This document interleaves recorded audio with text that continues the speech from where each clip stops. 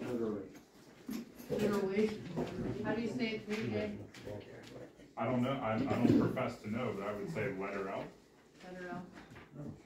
I bet you're right. Okay, L E T T E R L F E and Associates Inc. So this is regarding your underground holding tank that we had a leak in roughly a month ago that we pumped out. April third or something. is when April they- third. This, And so, this is a fuel tank, not a oil. I'm sorry, it's a Gasoline. gasoline tank out there. It was discovered or suspected that there was a leak. Um, they then pumped the gasoline out and hauled it away. And now we are on the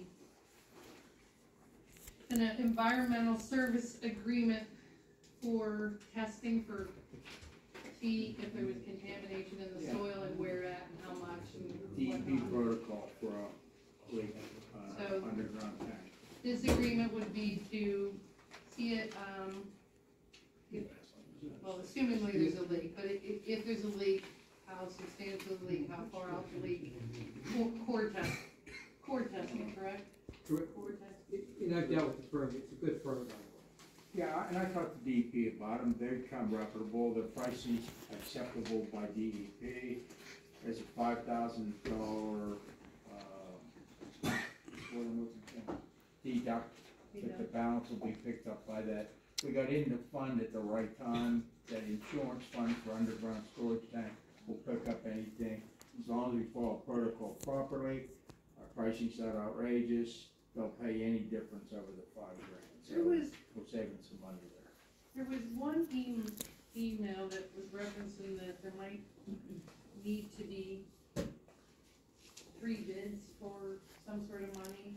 Is that for like the next step or is that for this step? I, uh, I, we need to do the surveillance, uh, first, and that's what lateral is, So the three bids is for cleanup. Yeah, and then that tells you what, how extensive the contamination was, if any.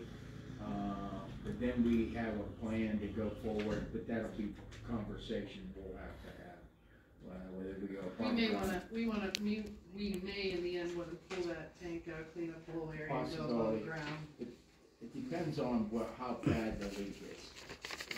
If it's bad, we're gonna probably pull it out, make it better in the long.